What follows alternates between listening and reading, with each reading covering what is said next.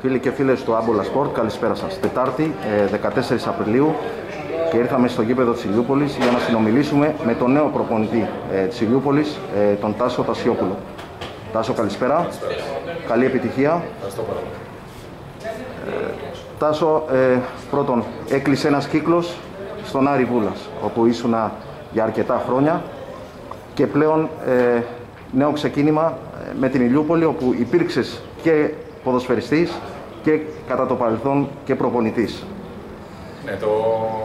εδώ έχω περάσει πολλά χρόνια από τη ζωή μου σε αυτό το γήπεδο.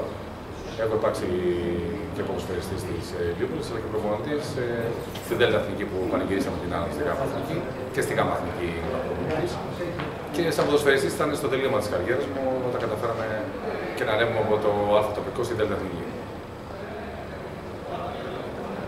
Ε, τώρα, τι θα, ποια θα είναι η δική σου σφραγίδα που θα βάλεις ε, στην Ηλιούπολη ε, για την ε, συνέχεια του πρωταθλήματος. Ναι, το πιο σημαντικό αυτή τη στιγμή ε, είναι ότι υπάρχουν πολύ λίγοι αγώνε. Είναι μόλι 6 αγώνε. Αυτό που θέλω να βάλεις είναι το- να το δούμε, να καταφέρουμε να δούμε το κάθε παιχνίδι χωριστά. Το κάθε παιχνίδι σαν τελικό, γιατί δεν έχουμε περιθώρια ούτε χρονικά ούτε περιθώρια λάθος. Οπότε κάθε Κυριακή πρέπει να παίζουμε για τη νίκη και αυτό είναι το πιο βασικό που πρέπει να αφήσουμε στην ομάδα. Οι συνεργάτες σου, Τάσο, το προπονητικό team, τι Είναι ο είναι. Δημήτρης Μαργολέφα και ο Ευγέννη Παπαδόπουλος. Ωραία. Ακολουθεί τώρα το πρώτο παιχνίδι για σένα, ε, το τοπικό ντέρμπι με το Χαραβιακό την Κυριακή. Είναι σημαντικό παιχνίδι, είναι ένα ντέρμπι.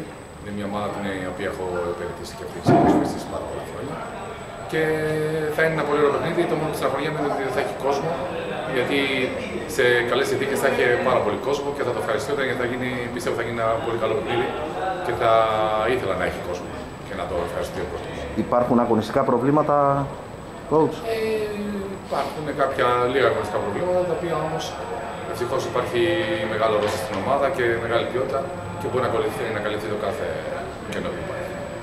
Υπάρχει πιθανότητα να γίνει κάποια προσθήκη επιπλέον; Ε, θα το δούμε αυτό. Γιατί σε την Παρασκευή τελειώνουν. Η ομάδα είναι πλήρης, υπάρχουν αρκετά και ικανά άτομα, γιατί και ικανά ποδοσφαιριστές.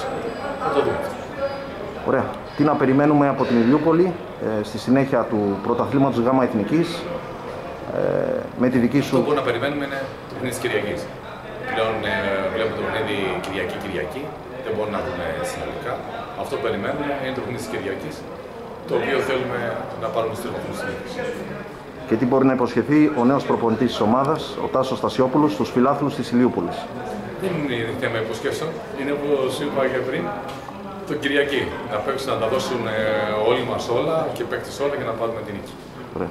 Coach, ευχαριστώ. Κάθε επιτυχία στην Ηλιούπολη και σε